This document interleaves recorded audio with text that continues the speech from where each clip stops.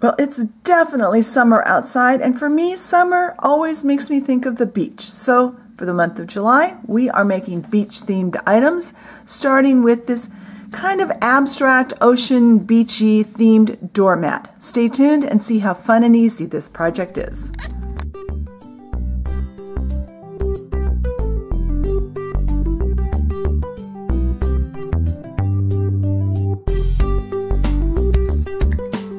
Right, so our first step is to seal our base for our doormat. So our doormat, like always, is a piece of kind of a rust colored felt. You can use any color felt you want. That is cut one and a half by two and a half inches. This is the felt that you buy by the yard at the fabric store as opposed to the stuff in the square but from the craft store. Either will work. This is just a little more firm and a little bit better quality in my opinion. So we're going to seal it. We're going to use some matte Mod Podge to seal it. So I'm going to put some out here. And we want a lot. In fact, I don't know why I even bothered to do that.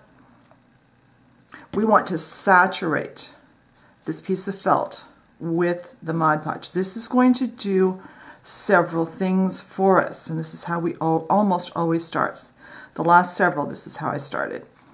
Um, it will seal the surface so that when we do paint the top of our doormat, it, the paint will go on nice and evenly and smoothly.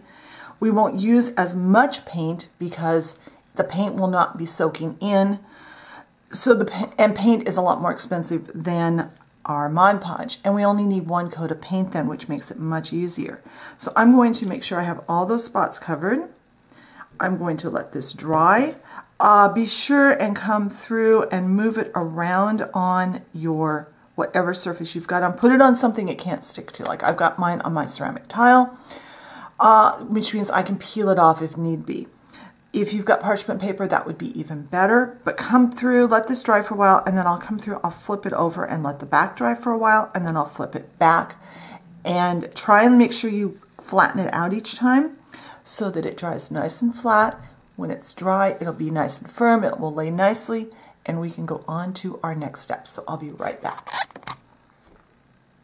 All right, this is still a slightly damp in the middle, but that's all right. It will continue to dry, to dry out through the back side. We are going to go on to our first layer of paint. And I am going to mix the color from my base coat. I want to make the base of this um, kind of a beige color. And I've just got just a random white. This is a bottle of Anita's white craft paint. I just want to get it used up. And I have some Burnt Umber from Liquitex Basics. And this one is always so hard to get out. But I am going to mix these together. And I'll probably turn the camera off so I can get this mixed. It's going to take me a while because that is so thick. But I want to mix this, and when I come back, I'll just keep going back, adding a little brown at a time until I get a color that is what I want for the background on this. So I'll be back as soon as I have the paint mixed. All right, I've got it fairly well mixed. I think there's still a few lumps of brown, but that's okay. And I am just going to coat this with this color. What I want is a light, kind of a beigey color. The, this is supposed to represent sand in our design. So we'll be laying our what was supposed to look like water portion over this. So there, we've got kind of a sandy, I guess the beach area of our mat. So I'm going to let this dry. And then when this is dry and I've got my mess cleaned up, I'll come back and we will go on to the next step. All right, that paint is, is dry. So now I'm going to put out some blue paint. And this is an apple barrel in bright blue. This is one that Plaid sent to me, I think, yeah. And I looked for a really tiny brush. This one is a little smaller than anything they had sent me. In fact, yeah, this will work. Because I want to make, I'm going to try to freehand this because I can't really draw it on with a pencil.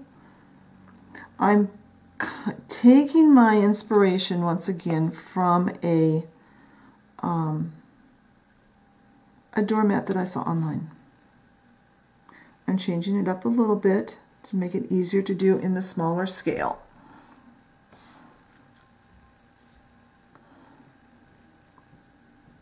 And this will all make a little more sense as we get, hopefully, as we get going.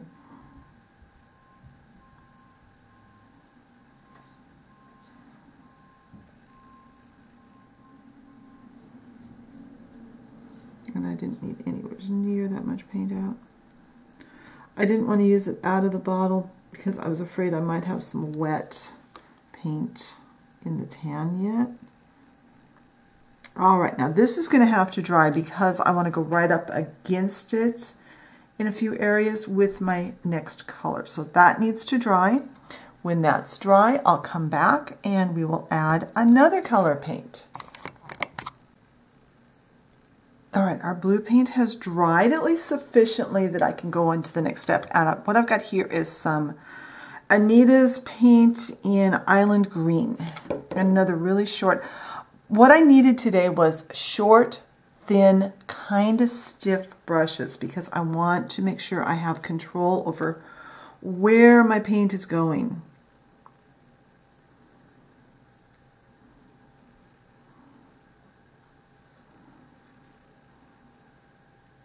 And like I said, I'm loosely basing this on a um,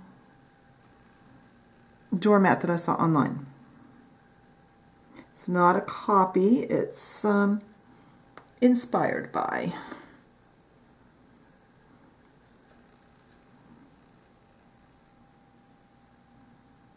And I know these shapes look kind of weird at this point, but we will, the next step after this will tie it together a little bit.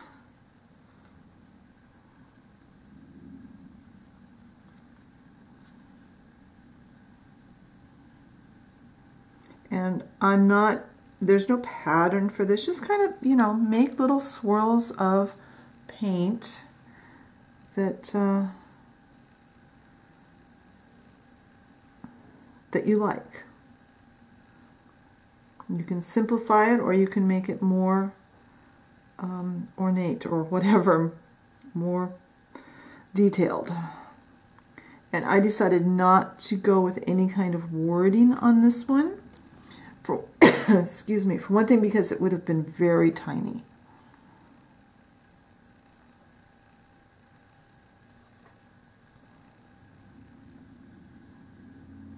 All right, well, I'm going to turn the camera off and I'm going to make sure I get this over closer to me and make sure all of this uh, island green paint is a solid paint. Whoops, I was partially off screen there uh, is pretty solid. I don't have my, much of the tan showing through. I'll let this dry, and when this is dry, I'll come back and we'll finish this up. All right, our paints have dried, and I've got my white paint pen. It's a medium tip. A fine tip would probably be better, but my I, the only white one I've got is this medium tip. And what I'm going to do, and this is just, I'm using this because it's a little easier to handle than a paintbrush. But if you don't have a paint pen, you can use a paintbrush for this. It would work really well. It's just, you have to be a little more careful.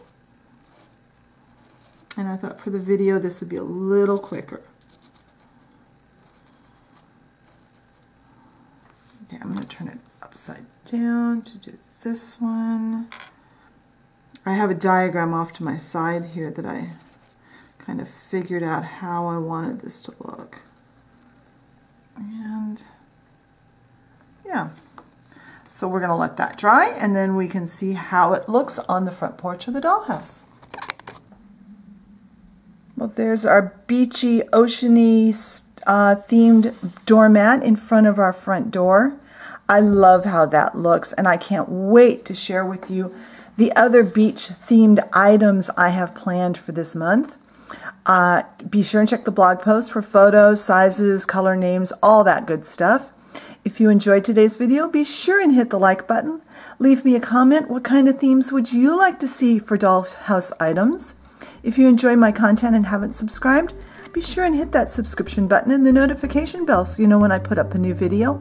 Thank you very much for watching today, and I will talk to you later. Bye.